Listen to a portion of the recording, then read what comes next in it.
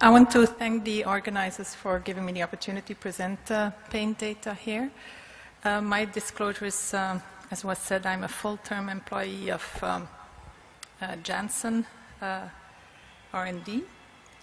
So I want to give you an uh, update on the PAINT study. This is the week 48 safety and efficacy analysis. Um, the NNRTI rilpivirine has been approved in many countries already in adults for the treatment um, of uh, treatment-naive uh, adults with a viral load of less than 100,000 copies in most uh, countries. The reason here for is, is that uh, in the phase three studies in adults, we saw that patients with a higher viral load had more virologic failure. There is also a single tablet uh, regimen or fixed dose combination available um, of rilpivirine together with uh, uh, Truvada, so tenofovir and emtricitabine. This study, PAINT, um, is in treatment-naive adolescents with, uh, who started with a rilpivirine-based regimen and were treated for 48 weeks up to this uh, analysis point. From the week 24 data, we know that the exposure was similar to adults. The efficacy overall was uh, 75% in a subgroup analysis of the patients who had a, a viral load at start of treatment of less than 100,000 copies, the, the, virologic response was 86%. Resistance and safety at that time point of 24 weeks was similar to uh, adults.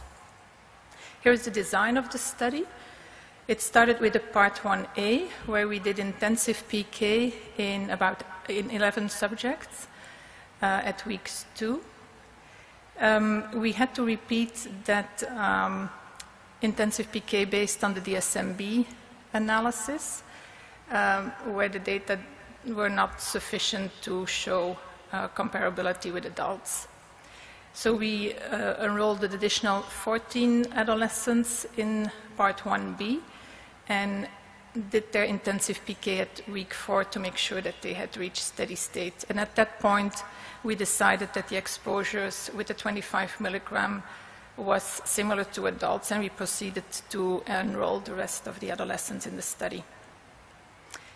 So was used in this study with an investigator choice of backbone, but most uh, patients uh, used Truvada, and the other um, options are listed here.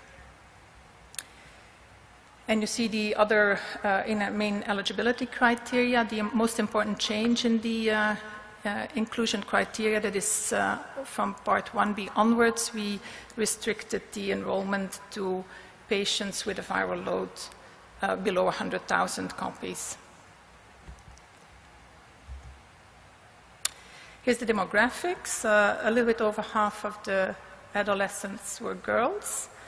Uh, we aim to have equal numbers in the age group of 12 to 15 years and 15 to 18 years, which was achieved. Um, most of the children were from Africa, some were from Asia, and you can see the list of uh, countries that enrolled patients in the study here. For baseline characteristics, since, as I said, we restricted the enrollment from Part 1b onwards to patients who had a baseline viral load below 100,000 copies, uh, obviously the majority, 78%, um, uh, had this criterion. The CD4 cell uh, count ranged from 25 to about 1,000, and the mode of uh, HIV infection was mostly mother to child transmission. 20, about 20% of the children had CDC category C, and you can see the clade uh, distribution here. This is a summary of the safety, the adverse events, uh, and you can see that seven uh, adolescents had a grade three or four adverse events uh, up to, uh, well, the duration of the observation was a total of 72 weeks because our recruitment in this study was rather low. So over that period, seven had uh, grade 3, 4 AE. Two of those were malaria, two depression, and none of them was related to the study drug. Out of the six uh, serious adverse events, there was one who was uh, possibly related to rilpivirine, and this was a, an adolescent with hypersensitivity and a grade 2 rash for which hospitalization was required. And um, he continued to be treated with rilpivirine and uh, up to resolution of the rash, so he was not discontinued from the study. There was one discontinuation because of an adverse event, and that was a patient who developed tuberculosis. And as you may know, we um, have a problem of a drug-drug interaction between uh, rilpivirine and uh, antituberculous drugs. And that was the reason it was a mandatory withdrawal from the study. For the most common possibly related AEs, those were somnolence and nausea. For lab abnormalities, grade 3 and 4, those were very infrequent and there was no really consistent or clinically relevant changes in, these, uh, in any lab parameters over time. We also monitored ECG and QTCF interval, but there were no uh, relevant changes over time. And here you see the response at week 48 with an overall response of 72%, but in the adolescents with a baseline viral load below 100,000, it was 79%. Obviously, in the ones with a higher viral load, it was much lower. And here is some detail on the uh, virologic response. Um, when you look at the subjects with a viral load at baseline below 100,000, three of them were nev never suppressed at week 24, but one of those became suppressed at week uh, 48. But there were an additional three uh, rebounders uh, after week 24. So the total virologic failure rate in that subgroup was 5 uh, or 18%. Looking at the ones with the viral load at baseline above 100,000, also three were not suppressed at week 24. One of those got suppressed by week 48, but we also had one early rebounder already at uh, week 24. So the total here was three, but out of the eight is 38%, so a high virologic failure rate. The summary of the resistance findings, out of the eight uh, patients with virologic failure in this analysis, five had treatment emergent uh, resistance associated mutations, mostly the E138K. And also four of the five uh, of these virologic failures had, uh, had um, NRTI RAMs, which was mostly the one, M184V. So the resistance pattern is uh, overall consistent with what was observed in adults.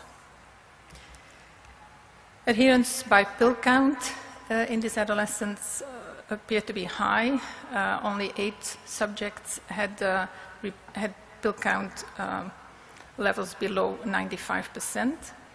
And by self-reported questionnaire, that was also high, um, where only uh, three out of the 34 missing at most one dose um, in recall. But we know from the uh, early data from the uh, intensive PK part that we did that adherence must have been lower than they, was, they reported because when we re repeated that uh, uh, intensive PK part with more intense support for adherence, we saw that uh, it had an influence on the, on the exposure.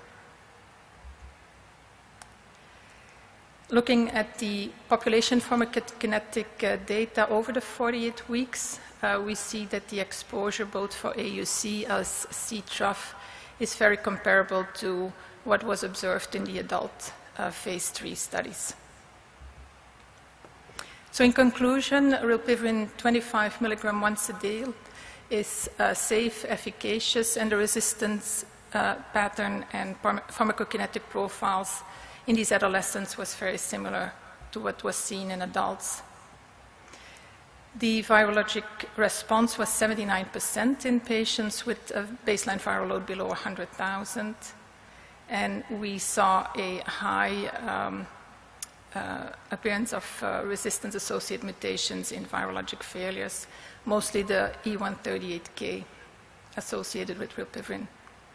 And again, the PK is similar to um, that uh, was demonstrated in adults. and there was no impact of age, gender, or body weight on the rilpivirine uh, pharmacokinetics. So these findings support the use of rilpivirine uh, 25 milligrams once daily in subjects who have, or in adolescents who have uh, a viral load that is about, uh, below 100,000 copies per ml. I want to thank the patients who participated in the studies, uh, in the study, the investigators, as well as the uh, personnel who supported this presentation. Thank you very much.